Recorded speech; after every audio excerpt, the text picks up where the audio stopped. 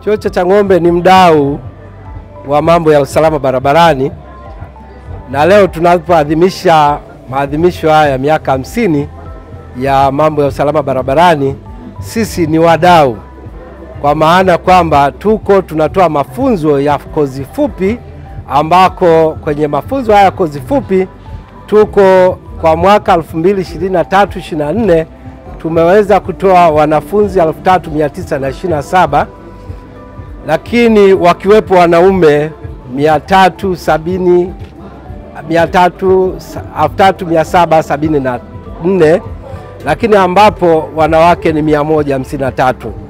Pamoja nayo tuko na watu wenye ulemavu ambao tumewafundisha wako 23. Chuo hiki ni chuo kikubwa ambacho kimeanza kutoa mafunzo miaka mingi iliyopita na kibobevu, kwa maana ya kwamba kinatoa mafunzo kwa watu wengi wa ngazi tofauti ambao wanakuja wa kutoka maofisini na wale ambao wanakuja asubuhi. Tuna kozi zile za asubuhi, lakini tuna kozi za mchana, tuna kozi za jioni na tuna kozi hata za weekend, ambapo Jumamosi na Jumapili bado tunaweza kutoa mafunzo hayo.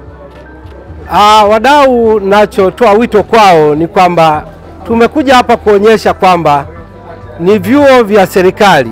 Chuo hiki ni kimoja kati ya vyuo vya serikali ambavyo vinatoa mafunzo. Tumekuja kujinadi, kuwaonyesha watu kwamba tuna uwezo wa kufanya katika kozi hii ya udereva na hasa kuepusha ajali barabarani, kuhakikisha kwamba Watanzania wanaishi maisha salama, kuanzia waenda kwa miguu, waendesha bodaboda, hata wanaoendesha magari. Wakufunzi kwetu sisi ni wale ambao wamejienda kujifunza, wana kozi za ualimu wa udereva tofauti na maeneo mengine ambapo labda watu wanajifunza mtaani kwenye vyuo ambavyo labda vingine havina walimu ambao ni qualified. Hiki ni chuo cha serikali, walimu wamefundishwa ni wabobevu. Ndio maana nikasema ni chuo ambacho kina walimu wazoefu wa ambao wanafahamu wanachokifahamu. Hizo alama huwa zinafundishwa madarasani. Kwa hiyo watu wakijifunza alama za barabarani wanaanza kuwa na usalama tayari barabarani. Kwa hiyo sisi ni imani yetu kwamba wakija wakijifunza kwenye vyuo vya kwetu, vyuo vya serikali kama chuo cha Chang'ombe ambacho ni kibobevu cha zamani, bado wana uwezo wa kufanya vizuri sana.